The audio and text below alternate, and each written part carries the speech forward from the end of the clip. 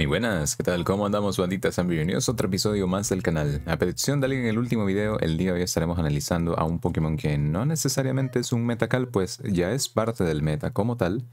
pero de todas maneras le haremos una pequeña revisión al mismo. Este gran pequeñín del día de hoy es Baxcalibur. Baxcalibur es el pseudo legendario de esta generación, dragoncito tipo hielo, que destaca en particular por algo que es su habilidad Thermal Exchange. Esta de aquí evitará que el Pokémon no solamente sea quemado, sino que también aumentará su ataque físico en un nivel cuando este es golpeado por un movimiento de tipo fuego. Esto no significa que el Pokémon es inmune a los ataques de movimiento fuego, es decir, que no va a recibir daño de ellos. Este sí los va a recibir, pero siempre pondrá a pensar dos veces a los rivales de todas formas si es que vale la pena pegarles o no, por el mismo hecho que pueden subir su ataque físico como tal. El hecho que es un atacante físico, que es principalmente de donde destacan sus estadísticas y que no puede ser quemado a su vez gracias a su habilidad,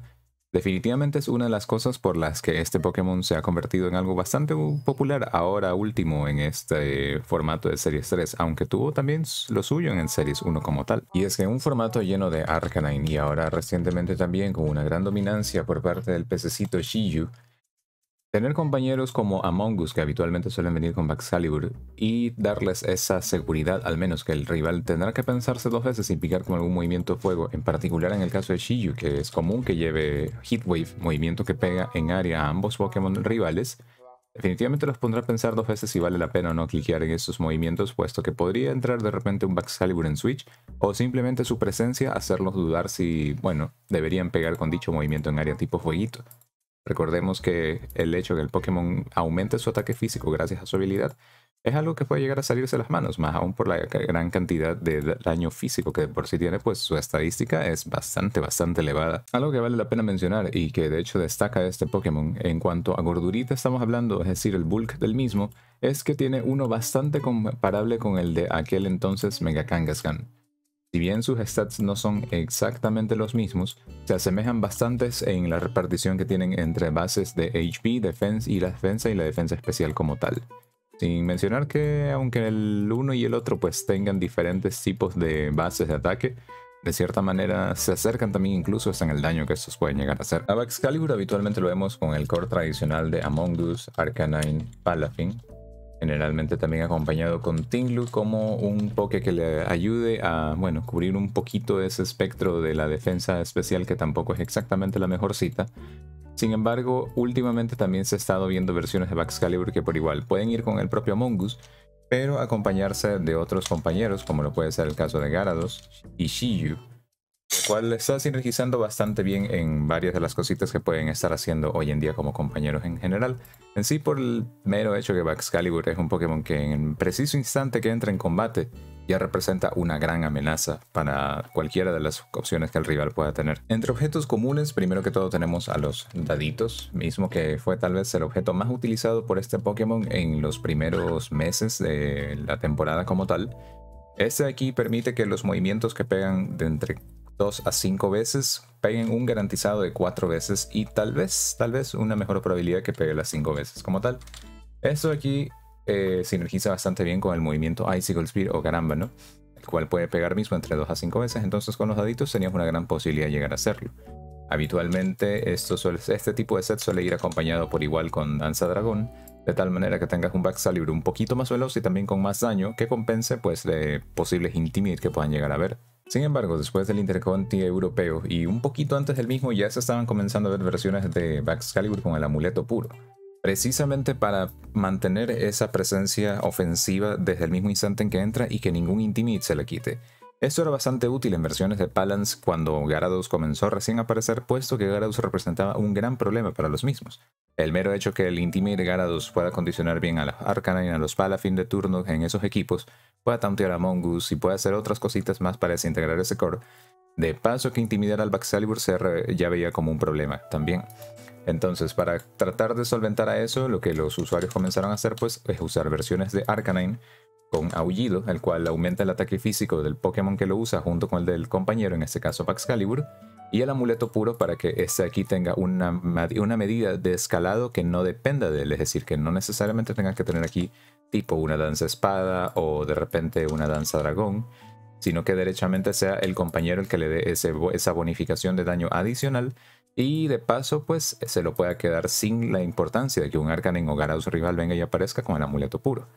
Entonces la estrategia es sencilla. El perrito tira aullido, Baxcalibur se busca en ataque y procedes a picar con Glaive Rush o Espadón, que es justamente el movimiento característico de ese animalito, el cual ya vamos a ver un poco más dentro de esa mecánica. Asalto Espadón o Glaive Rush para los panas es un movimiento de 120 de potencia tipo dragón, categoría físico va de la mano perfecto con este animalito. Es un movimiento característico, ningún otro Pokémon lo puede aprender, pero es importante también tener clara un poco sus mecánicas, eh, pues es un movimiento que literalmente es de doble filo, sin embargo eso no lo hace nada malo. Es un movimiento el cual está diseñado para golpear, hacer muy buen daño, pero hay que medir bastante la consecuencia de ese aquí y como tal aprender a utilizarlo. El tema con el asalto Espadón es que tras utilizarlo, el Pokémon, en este caso Baxcalibur, va a quedar en un estado vulnerable desde ahora hasta la siguiente vez que éste se mueva. Es decir, tras utilizarlo entonces este Pokémon quedará en un estado vulnerable en el cual no solamente recibirá el doble de daño de todos los movimientos de daño que le hagan al mismo, sino que aparte, todo movimiento que el rival haga hacia este siempre tendrá la capacidad de conectar, es decir, no tomará en cuenta ningún tipo de chequeo de precisión, evasión o demás, el movimiento va a conectar sí o sí. Esto eh, interactúa de una forma muy interesante con algo que nosotros hemos visto mucho en el meta el día de hoy, y es la presencia mismo de Tinglu con fisura. Entonces aquí viene una pequeña dinámica interesante que tomar en cuenta entre estas, entre estas mecánicas aquí. Si tu Excalibur usa Glaive Rush frente a un Tinglu, y ese Tinglu justo ese turno picó por fisura en el Excalibur, ten por seguro que la fisura va a conectar sí o sí en el Pokémon, independiente de que tenga solamente 30 de precisión, por el mero hecho que estás en ese estado vulnerable de Glaive Rush, el Pokémon va a estar recibiendo esa fisura sí o sí. Esto aplicaría con cualquier otro movimiento, no solamente con fisura, sino en general con cualquier, otro movimiento. Como digo, al estar en el estado vulnerable de Glaive recuerden, recibirás el doble de daño, es decir, es como que todo movimiento te pegará súper eficaz, y adicionalmente no hay chequeos de precisión ni de evasión. Va a pegarte sí o sí. Como digo, tal vez esa sería una de las pequeñas vulnerabilidades que tiene este Pokémon y a las cuales hay que echarle bastante consideración, no vayan a querer estar en ese estado vulnerable y ser castigados por ello. Eso implica también que tomen en consideración el daño que ustedes vayan a recibir ese turno por parte de Pokémon que sean más lentos que ustedes, caso que utilicen el asalto espadón. Entre las segundas vulnerabilidades que tenemos con este animalito es que, bueno, no necesariamente es un Pokémon Tera dependiente, pero usualmente suele ser arrinconado, o al menos una de las mejores formas de poder debilitarlo o llegar a ponerlo en una situación incómoda, es arrinconarlo con buen, eh, espectros buenos espectros de daño que le representen al mismo y que lo fuercen a teracristalizar. Dígase la melena leteo de turno o el colmillito de turno. Ambos son dos grandes amenazas que usualmente provocarán una teracristalización en el mismo, a menos que este pues tenga de repente algún compañero con una presión de fake out sorpresa como lo sería un Iron Hands, o derechamente tengan algún tipo de redirección, como en el caso de Among Us o unos ratoncitos. Y aún así, a veces hasta con la redirección, la presencia de la melenateo es tan imponente con el típico set de Choice Specs y de repente los brillos mágicos que pueden pegar en área y como tal ignorar esa redirección. Tanto es la presión así que a veces, y de todas formas, Black Excalibur tiende a ceder y pues bueno, a proceder a cristalizar defensivamente. Otra mención honorable que también le representa bastantes problemas es Goldengo. Goldengo no solamente tiene el movimiento Make Ring, el cual le va a pegar por en área igualmente, de manera súper eficaz y va a proceder a tomar el One Hit que yo, sino que además de ello, Baxcalibur no tiene muchas formas realmente de tocar a Goldengo. Considerando que el Baxcalibur promedio se ve algo similar a esto de aquí,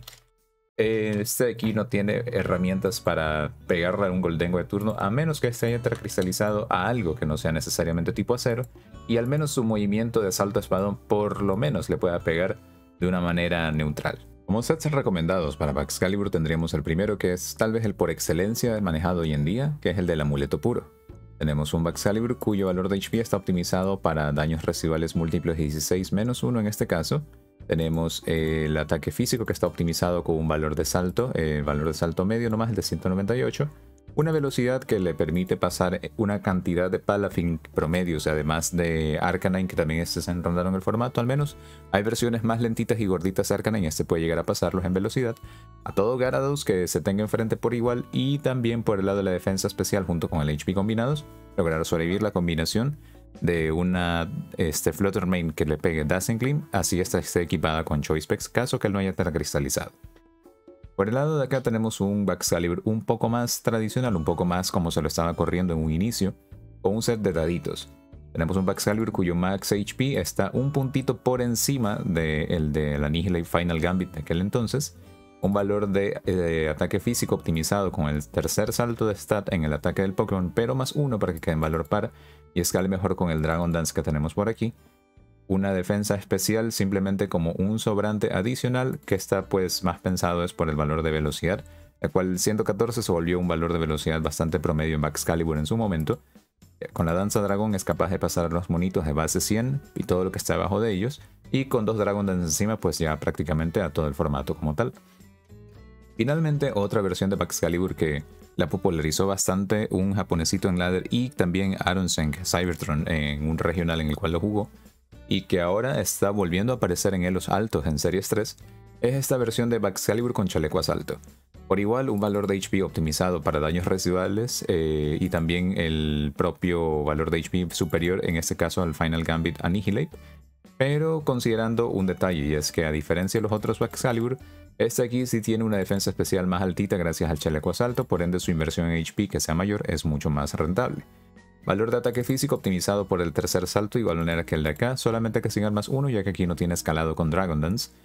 Eh, pero de todas formas necesita mantener una línea de daño bastante consistente porque va a estar más susceptible a los intimidos y no tener el amuleto puro. En combinación el HP junto con la defensa especial y el chaleco asalto, este podría llegar a sobrevivir los mumblas de una Specs Fluttermane, incluso si esta llega a tener un máximo de 116 de ataque especial, caso que el Excalibur no llegue a tener que cristalizar, dejando el resto simplemente como un dump en velocidad y nada más. Entonces les dejo estos tres sets en la descripción, ambos son los tres teras comunes también que se suelen ver en el animalito, siendo Tera Agua uno de los teras defensivos más eh, seleccionados, al igual que el Tera Veneno, son dos teras que le caen muy bien al animalito y por otro lado el Tera Tierra en cambio también le da neutralidad de tipos a varias cosas, pero además de ello es stab adicional en terremoto para que pueda tenerlo con sus compañeros. Entonces ahí queda el buen Baxcalibur. Aquí tenemos algunas de las cosillas pues por lo cual ven un buen Pokémon. Y también pues de las razones por las que a pesar de que haya obtenido su espacio en Series 1 y como que se hayan saltado un poquito las cosas en Series 2, otra vez esté teniendo su aparición por acá en Series 3. Háganme saber en el caja de comentarios qué otro Pokémon les gustaría ver en estos análisis.